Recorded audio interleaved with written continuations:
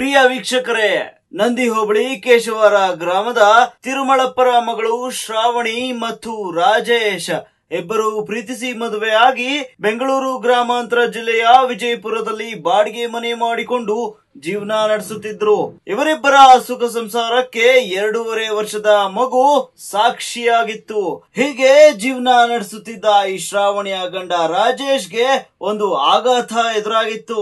ದಿಢೀರನೆ ಒಂದು ದಿನ ಶ್ರಾವಣಿ ತನ್ನ ಮಗುವಿನ ಜೊತೆಯಲ್ಲಿ ಆತ್ಮಹತ್ಯೆ ಮಾಡಿಕೊಂಡಿದ್ದಾಳೆ ಅನ್ನೋ ಮಾಹಿತಿ ಸಿಗುತ್ತೆ. ಅದೇ ರೀತಿ ಶ್ರಾವಣಿ ತಂದೆ ತನ್ನ ಮಗಳು ವಿಪ್ರೋ ಕಂಪನಿಗೆ ಕೆಲಸಕ್ಕೆಂದು ಹೇಳಿ ಬೆಂಗಳೂರಿಗೆ ಹೋಗ್ತಾ ಇದ್ಲು. ಹೀಗಿರುವಾಗ ನವೆಂಬರ್ ಹತ್ತೊಂಬತ್ತರಂದು ಮನೆಯಲ್ಲೇ ಯಾರು ಇಲ್ಲದ ವೇಳೆ ಆತ್ಮಹತ್ಯೆಗೆ ಯೋಚಿಸಿದ್ದು, ತಾನು ಸತ್ತರೆ ಮಗನನ್ನ ನೋಡಿಕೊಳ್ಳುವವರು ಯಾರು ಎಂದು ಯೋಚಿಸಿ ಮಗನಿಗೆ ಯಾವುದೋ ವಿಷ ಕುಡಿಸಿ ತಾನು ವಿಷ ಕುಡಿದಿದ್ದಾಳೆ. ಬಳಿಕ ನೋವು ತಾಳಲಾರದೆ ಕುತ್ತಿಗೆಗೆ ಟವಲ್ ಬಿಗಿದುಕೊಂಡು ಮೃತಪಟ್ಟಿದ್ದಾಳೆ ವಿನಃ ಬೇರೆ ಯಾವುದೇ ಅನುಮಾನವಿಲ್ಲ ಎಂದು ವಿಜಯಪುರ ಪೊಲೀಸರಿಗೆ ಮುಂದಿನ ಕ್ರಮ ಜರುಗಿಸುವಂತೆ ದೂರನ್ನ ನೀಡಿದ್ರು.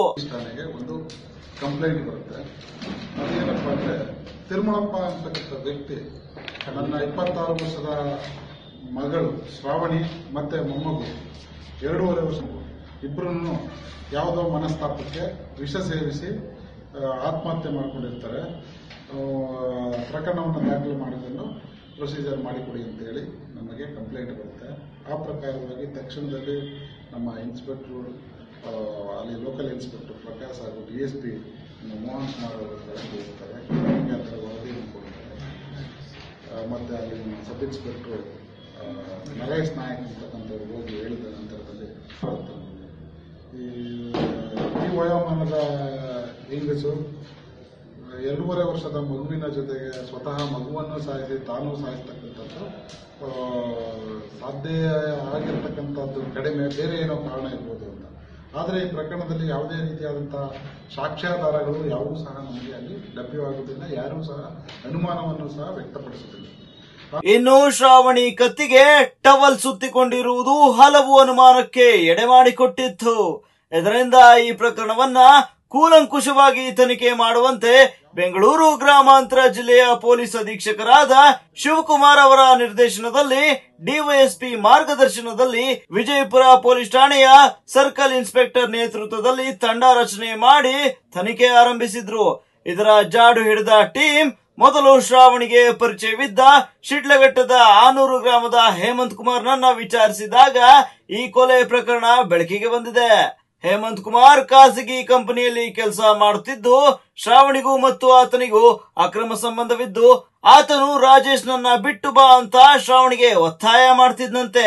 ಆದ್ರೆ ಶ್ರಾವಣಿ ಇದಕ್ಕೆ ಒಪ್ಪದಿದ್ದಾಗ ಯಾರಿಗೂ ಅನುಮಾನ ಬಾರದ ರೀತಿಯಲ್ಲಿ ತನ್ನ ಮೊಬೈಲ್ ಫೋನ್ ತೆಗೆದುಕೊಂಡು ಯಾರು ಇಲ್ಲದ ವೇಳೆ ಶ್ರಾವಣಿ ಮತ್ತು ಆಕೆಯ ಮಗನನ್ನ ಕೊಲೆ ಮಾಡಿ ಪರಾರಿಯಾಗಿರುವುದಾಗಿ ಪೊಲೀಸರಿಗೆ ಹೇಳಿಕೆ ನೀಡಿದ್ದಾನೆ.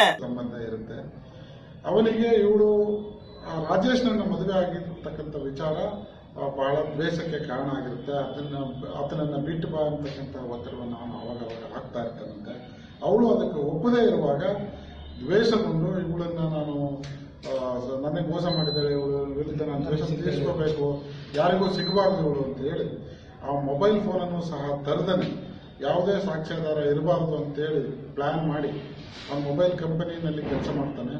ಹಂಗಾಗಿ ಸಾಕ್ಷಿ ಇರಬಾರ್ದು ಅಂತ ಸಾಕಷ್ಟು ಮುಂಚಿತವಾಗಿ ಪ್ಲಾನ್ ಮಾಡಿ ಬಂದು ಅವಳಿಗೆ ವಿಷವನ್ನು ಕುಡಿಸಲಿಕ್ಕೆ ಪ್ರಯತ್ನ ಮಾಡ್ತಾರೆ. ಅವಳು ಸಂಪೂರ್ಣ ವಿಷವನ್ನು ಕುಡಿದೇ ಇರುವಾಗ ಬಲವಂತವಾಗಿ ವಿಷ ಕುಡಿಸಿ ವಿಷದಿಂದ ಇವಳು ಸಾಯೋದು ಅನುಮಾನ ಅಂತೇಳಿ ಟವಲ್ ಅನ್ನು ಬಿಗಿದು ಸಾಯಿಸ್ತಾನೆ. ಮತ್ತೆ ಮಗು ಉಳಿದ್ರೆ ಅದು ಸಾಕ್ಷಿ ಆಗಬಹುದು ನಮ್ಮ ವಿರುದ್ಧ ಅಂತೇಳಿ ಆ ಮಗುವಿಗೂ ಸಹ ಬಲವಂತವಾಗಿ ವಿಷವನ್ನು ಕುಡಿಸಿ ಎರಡು ಜೀವಗಳನ್ನು ವಿನಾಕಾರಣ ಕೊಲ್ತಾರೆ. ಅದನ್ನ ನಂತರದಲ್ಲಿ ನಾವು ಬಹಳ ನಮ್ಮ ಆಫೀಸರ್ಸ್ ಎಲ್ಲ ಬಹಳ ಚಾಕಚಕ್ಯತೆಯಿಂದ, ವೃತ್ತಿಪರತೆಯಿಂದ ತನಿಖೆಯನ್ನು ಮಾಡಿಕೊಂಡಿದ್ದರಿಂದ ಈ ಒಂದು ಅಪರಾಧ ಬಯಲಿಗೆ. ಪೊಲೀಸರು ಹೇಮಂತನನ್ನ ಬಂಧಿಸಿ ಜೈಲಿಗಟ್ಟಿದ್ದಾರೆ. ಆದ್ರೆ ಏನು ಅರಿಯದ ಮುಗ್ಧ ಮಗು ಸಹ ಇವರಿಂದ ಮಸಣದ ಹಾದಿ ಹಿಡಿದಿದ್ದು ಮಾತ್ರ ದುರಂತವೇ ಸರಿ. M Vinay, Pragati TV, Devanahalli.